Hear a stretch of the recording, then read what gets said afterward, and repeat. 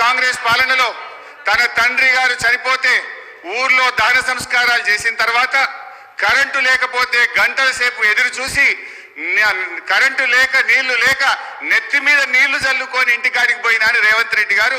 ఆనాటి కాంగ్రెస్ పాలనలో కరెంటు పరిస్థితి గురించి ఇదే సభలో చెప్పారు అధ్యక్ష. అధ్యక్ష ఇవాళ పరిస్థితి ఏడికొచ్చిందంటే చివరికి గౌరవ మంత్రులు ముఖ్యమంత్రి గారు ఎక్కడన్నా మీటింగులు పెట్టుకుంటే మీటింగులు పెట్టుకుంటే జనరల్గా పోలీస్ వాళ్ళు భద్రత కోసం వెళ్తారు అధ్యక్ష. మీటింగ్లకు మీటింగ్లకు పోలీసు వాళ్ళు పోయి భద్రత కోసం వాళ్ళు నిలబడితే అధ్యక్ష ఈ రోజు కరెంటు వాళ్ళు పోయి మాత్రం నిలబడుతుండ్రు అధ్యక్ష.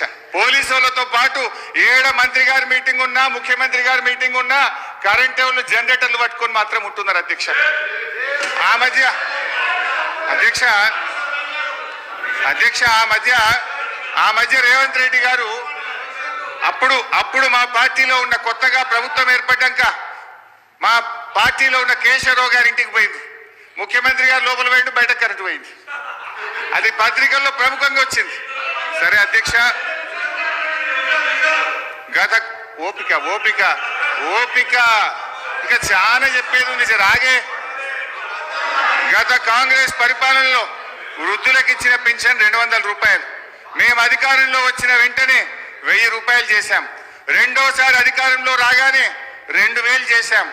మా దశాబ్ద కాలంలో ఇచ్చిన మాట ప్రకారంగా వృద్ధాప్య పెన్షన్ రెండు వందల నుంచి రెండు వేల రూపాయలు చేశాం అధ్యక్ష. మీ సోకాల్డ్ ప్రజాపాలనలో చెప్పిన వంద రోజుల గడువు దాటిపోయింది. నాలుగు వేల పింఛన్ నాలుక మీదనే ఉన్నది. ఉన్న రెండు వేలు కూడా చక్కగా రాక అవ్వాదాతల పరిస్థితి అధోగత అయిపోయింది అధ్యక్ష. అధ్యక్ష